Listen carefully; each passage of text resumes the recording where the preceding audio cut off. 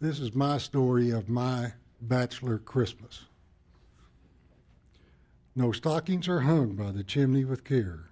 The night is so silent and cold fills the air. It's Christmas Eve and there's not a peep, just Calicat and Esther sound asleep. As I sit down here in my easy chair, the good old Nick St. Nick slips past my lair. My Christmas cards are lined in a tier from good friends all who wish me good cheer. My insurance agent wishes no well. The banker's greeting says joy and be well. As I read each one, my heart is so full.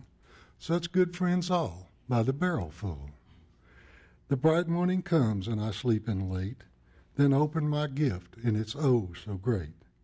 A hot cup of coffee all full of good cheer, a small fruity cake tasting mighty queer. Around the kitchen in my brand new socks, I warm up my dinner in a cardboard box. It's time to dress, my friends will be here.